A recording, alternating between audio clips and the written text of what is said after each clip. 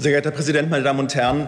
Die Vorhaben des Innenministers setzen Sie die richtigen Akzente zur Lösung der Migrationsprobleme, zur Bewahrung der inneren Sicherheit. Nehmen Sie überhaupt die Quellen dieser Probleme in den Blick oder bleibt es bei Symptomdoktorei, weil man an die Ursachen nicht ran will? Wir haben nach wie vor massenhaft illegale Migration aus Afrika und islamischen Ländern, Personen archaisch sozialisiert, statistisch überproportional kriminell, meist ohne Ausbildung. Und dennoch werden sie bedenkenlos jährlich in Hunderttausender Stärke ins Land gelassen, eine erhebliche Belastung unserer Sozialsysteme, unserer Haushalte und eine permanente Gefährdung unserer Bürger.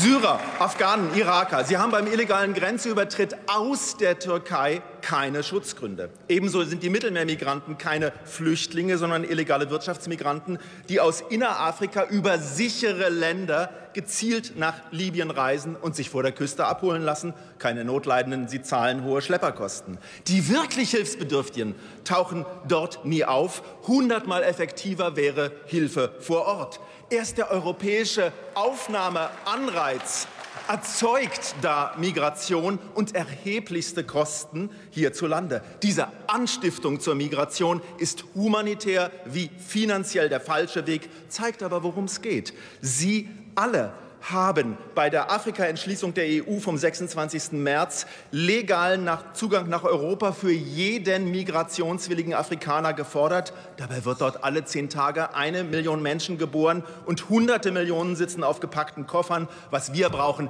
ist Rückführung. Hunderttausende Syrer sind aus der Türkei schon zurückgekehrt. Der Krieg ist aus. Aber Schlepperpäpstin Rakete will ja jetzt auch Klimaflüchtlinge abholen. Klimaflüchtlinge, was ist denn das? Ich dachte, wir haben hierzulande so schlechtes Klima, dass reihenweise Städte den Klimanotstand ausrufen möchten. Was wollen die denn dann hier? Solche Massenimmigration löst hiesige Probleme nicht, sondern verschärft sie. Steigende Kriminalität, Gewalt gegen Frauen, schleichende Islamisierung, Besetzung des öffentlichen Raumes durch Männergruppen von erheblicher Aggressivität. Wir brauchen nicht Städte, die sich zu sicheren Häfen ausrufen, sondern sichere Bahnhöfe, sichere Schulen, sichere Freibäder und Parks. Die absehbare demografische Entwicklung wird eine Integration verunmöglichen. Nur eine deutliche Mehrheitsbevölkerung kann eine entsprechend niedrige Zahl von Migranten integrieren. Und ein Fachkräfteeinwanderungsgesetz ohne Vorrangprüfung nimmt unseren eigenen Leuten Arbeitschancen. Und dann sollen auch noch Abgelehnte bleiben dürfen, Ausbildungsduldung, als Lohn der Lüge. Dabei ist ein Großteil der Migranten hierzulande gar nicht einsetzbar. Sie müssen hier bis an ihr Lebensende von uns alimentiert werden. Jeder Zweite landet schon in Hartz IV. Diese Migranten werden Deutschland nicht retten, sondern ruinieren.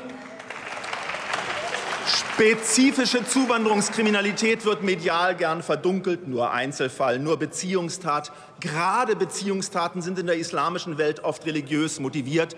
Verachtung von Frauen ist Lehrstoff des Islam.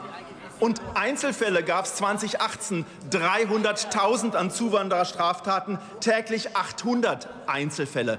Man denke, bei geschützten Grenzen wären 2014 bis 18 800.000 zusätzliche Straftaten verhindert worden. Mit Dunkelziffer etliche Millionen. Ein zu hoher Preis, damit Frau Merkel ihr freundliches Gesicht zeigen kann.